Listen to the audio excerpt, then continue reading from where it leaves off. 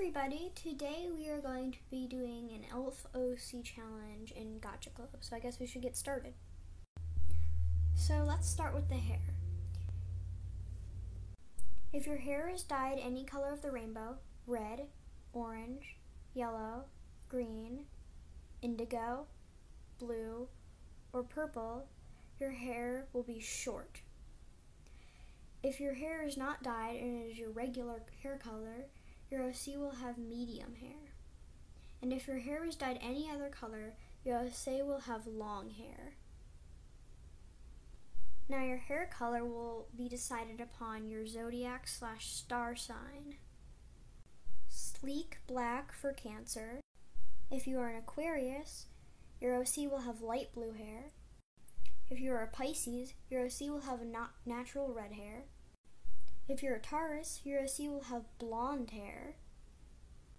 If you're an Aries, your OC will have brown hair. If you're a Virgo like me, your OC will have white slash silver hair. If you are a Leo, your OC will have light yellow hair. If you are a Sagittarius, your OC will have dark blue hair. If you're a Capricorn, your OC will have purple hair. If you're a Libra, your OC will have dark brown hair. If you're a Gemini, your OC will have lavender hair. And if you're a Scorpio, your OC will have orange hair. Now for the ear length. This will be decided on how many siblings you have in real life. If you're an only child, have the longest ears. If you have one to three siblings, have the medium ears. If you have four plus siblings, I feel bad for you, but have the smallest ears. Time for the eyes. You can pick the eye shape, and the eye color is your favorite color in real life. Now, the clothes depend on your birth month. If you were born in January, your OC will have a school uniform outfit. If you were born in February, your OC will have a winter outfit. If you were born in March, your OC will have a warrior themed outfit. If you were born in April, your OC will have a ragged look looking outfit.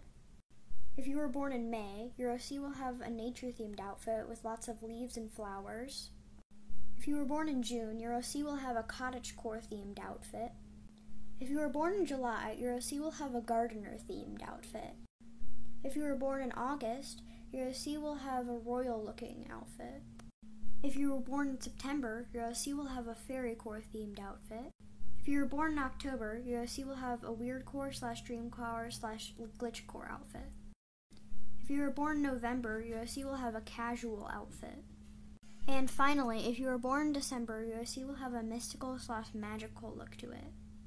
Now you can add any finishing details that you need, I guess. This is my finished OC. Sorry this was kind of short. I didn't have any video ideas. Hope you enjoyed. Bye!